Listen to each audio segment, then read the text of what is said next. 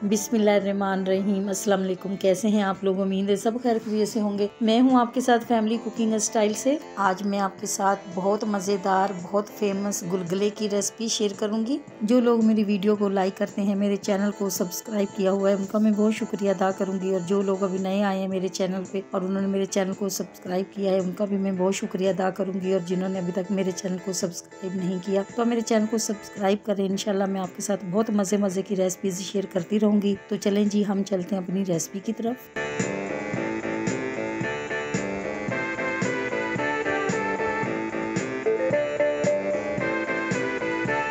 गुड़ लिया मैंने 400 ग्राम।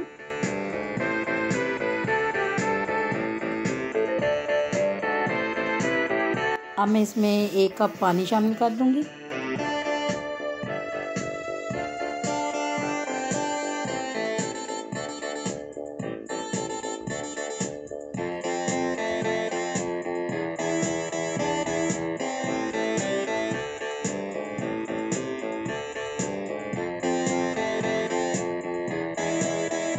गुड़ को मैंने बहुत अच्छी तरह से मेल्ट कर लिया है और अब मैं इसमें शामिल कर दूँगी 250 ग्राम सूजी।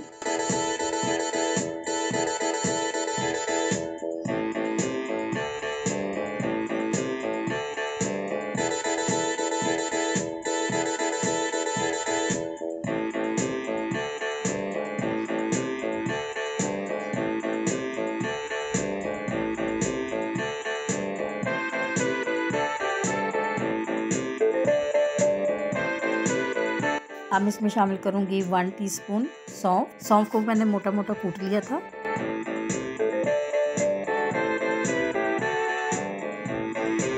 और थोड़ा सा सब्ज इलायची का पाउडर।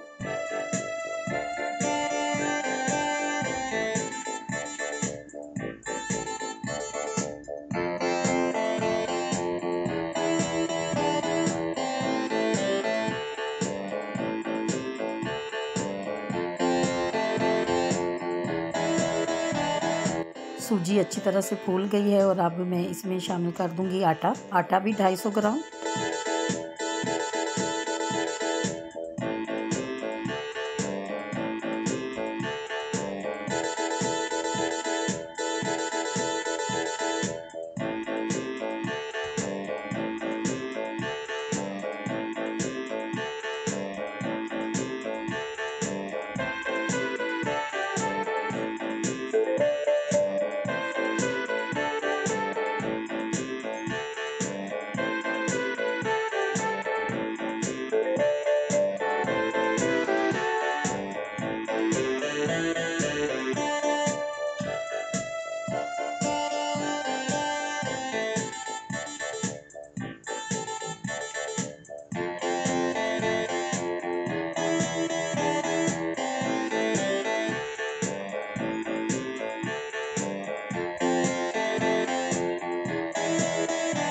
अब इसमें शामिल कर दूँगी हाफ़ टी स्पून सोडा मीठा सोडा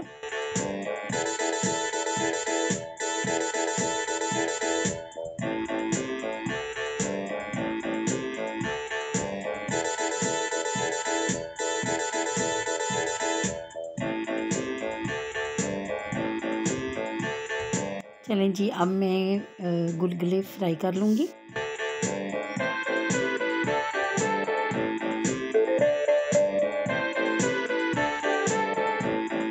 गुलगुले कुछ लोग सूजी के भी बनाते हैं और कुछ आटे के से भी बनाते हैं और सबसे अच्छे जो गुलगुले होते हैं वो आटा और सूजी के मिक्स जो होते हैं वो ही अच्छे बनते हैं।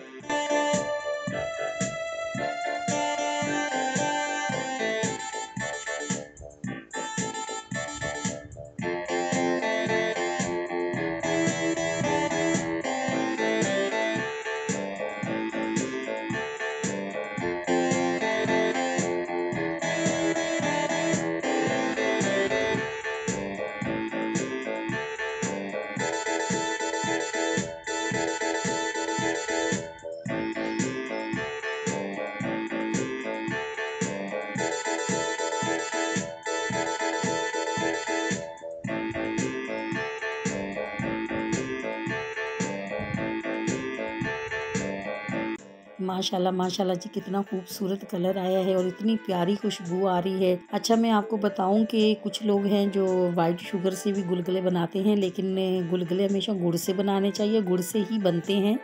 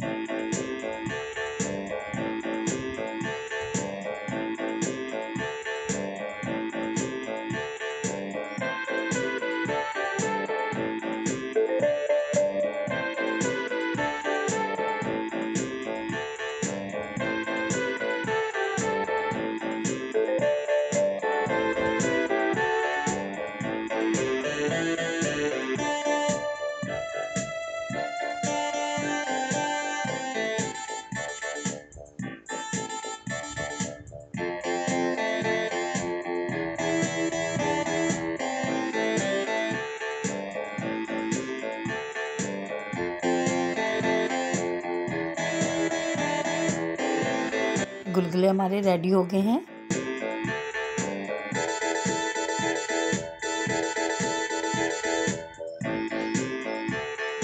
आपको अगर ये मेरी रेसिपी अच्छी लगे तो मेरी वीडियो को लाइक मेरे चैनल को सब्सक्राइब करना नहीं भूलिएगा। दोस्तों रिश्तेदारों के साथ भी शेयर किया करें। अपना बहुत ख्याल रखा करें, दुआओं में मुझे भी याद रखा करें। इंशाल्लाह जी, मैं आपके साथ इसी तरह से बहुत मज़े मज़े की रेसिपीज़ शेयर करती रहूँगी। अब मैं चाहती हूँ आपसे इजाज़त, आपसे मुलाकात होगी एक नई रेसिपी के साथ। अल्लाह हाफिज़।